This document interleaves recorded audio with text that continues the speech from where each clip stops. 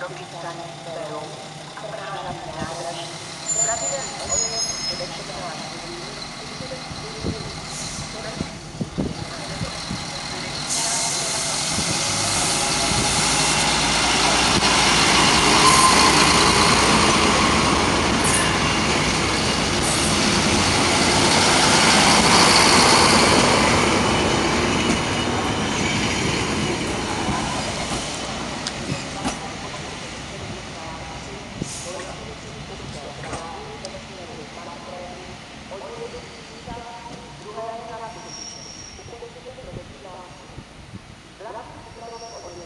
That's the argument.